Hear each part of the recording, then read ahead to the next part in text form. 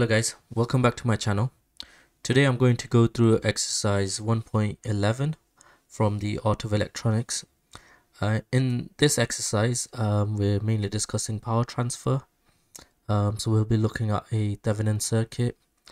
Um, this this exercise is maths heavy, so strap in and let's get going. So exercise 1.11 tells you to show that the maximum power dissipation occurs when R load, so the load resistance, is equal to the source resistance.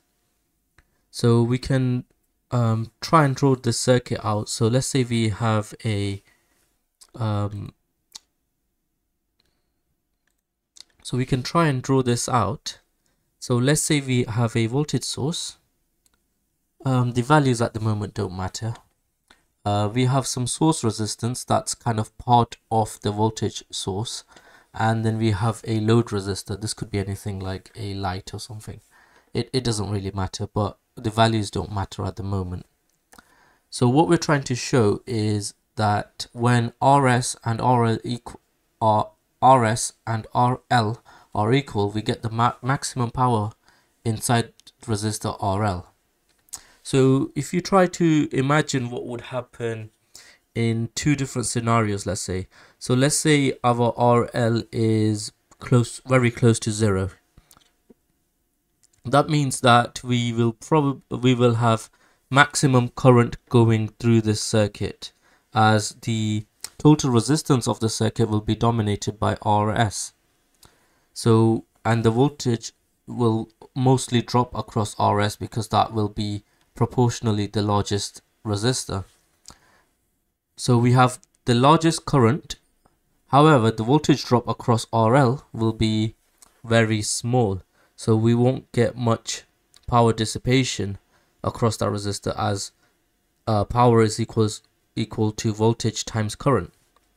Now if you imagine uh, scenario number two where RL is very large, so let's say um, 100 kilo ohms, something like that, um, compared to a source resistance of let's say 50 ohms. That means um, the total resistance of the circuit is dominated by RL. So um, the the current, the total current flowing through the circuit is mainly dependent on RL. So it will uh, also it will be very low as RL is a large value. Now you can imagine um, the voltage drop in this scenario, if you use the potential divider equation, most of the voltage will be dropped across RL. However, the current flowing through the circuit will be very low. So in that scenario, you still wouldn't get a lot of power dissipation. So what we need to do is basically try and find the point where we get maximum power dissipation across RL, which is given to us by the question. So let's first of all start with Ohm's law, which tells us V equals IR.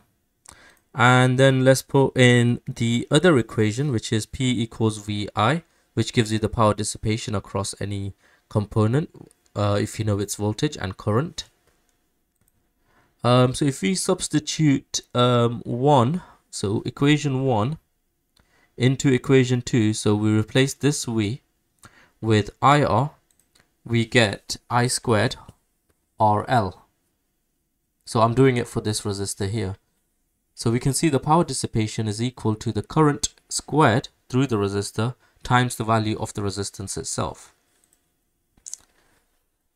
Now we, we can calculate the current flowing through this circuit using Ohm's law. So that basically using this equation here, V equals IR and rearranging it so that we get I by itself. So we move the R over to the other side, so it's V divided by R. And R in this case is equal to RS plus RL because the, uh, the current will be dependent on the total resistance of the circuit.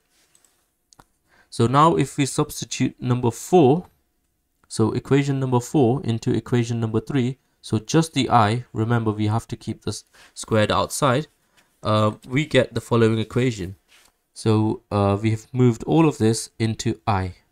So we get V squared divided by RS RL all squared times by RL which we have over here.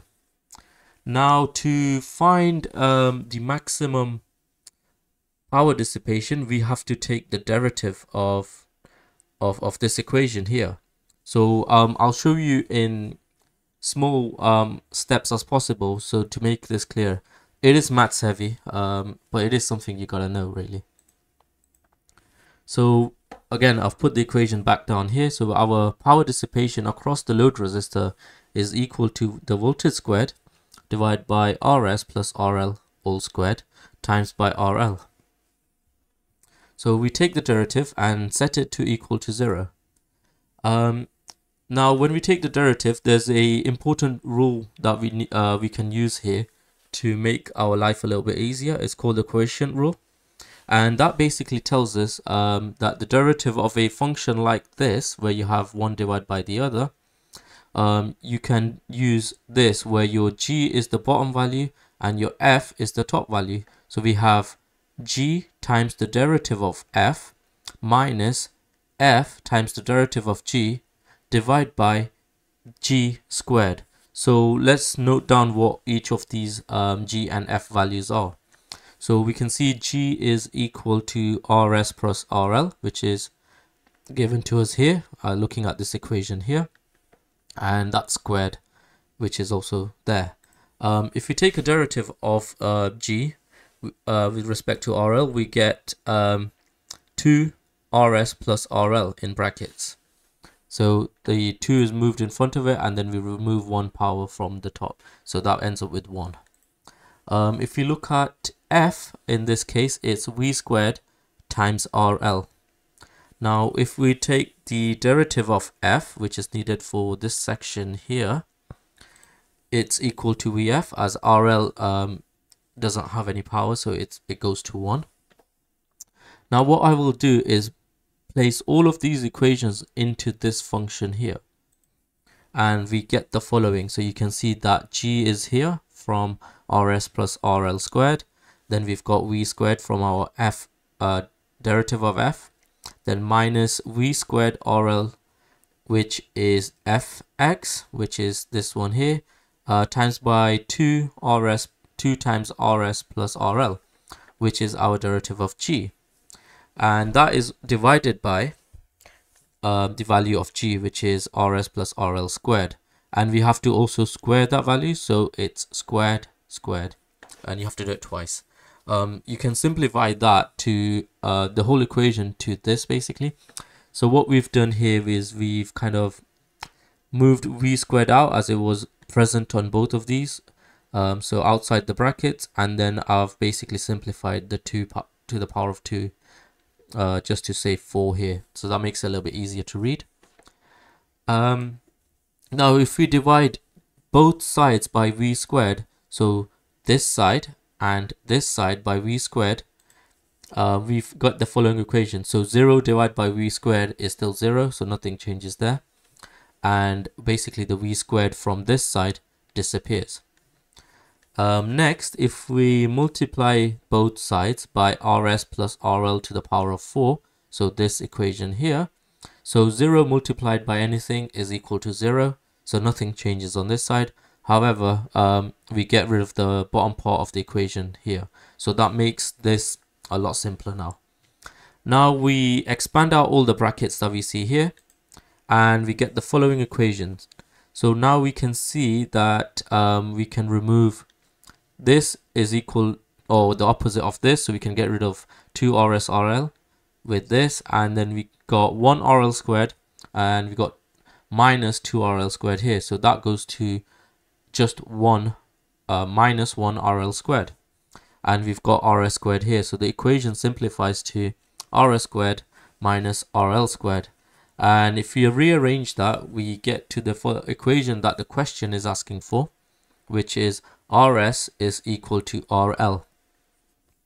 Um, hopefully that was clear and I've tried to break it down into small steps. Um, but to kind of because this is maths heavy and I think a, a graphical representation is probably very good to look at. So I've also set up an Excel to show you the equation that we derived in the first part of the question. So this equation here, where we found out the power dissipation across RL is equal to this equation here. So what I've done here is I've put down values of RL from 1 to 500 and then I've put down this equation in column B.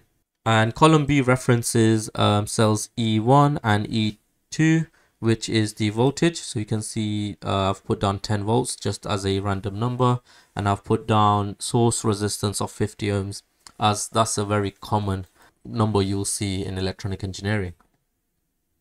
So you can see I've got um, E1 squared which is voltage squared as given in the equation. And then I've got the load resistance plus the source resistance squared times by the load resistance. Now, um, basically I've dragged the equation down where I'm changing the load resistance from 1 to 500 and then I've plotted this, uh, um, plotted the power dissipation against the load resistance. So what we were trying to show in this equation over here was that when RS is equal to RL, we get the maximum power dissipation. And that also means the gradient was also zero there. So you can see the gradient is zero there. So I've got 50 ohms source resistance.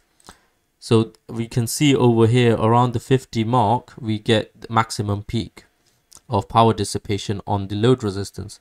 Now we can change this value so that let's say our source resistance is equal to uh, 100 ohms then that peak will change to 100 ohms. So hopefully this shows you in a clearer representation that maximum power dissipation um, occurs when you have RS equal to RL so that your load resistance is equal to your source resistance.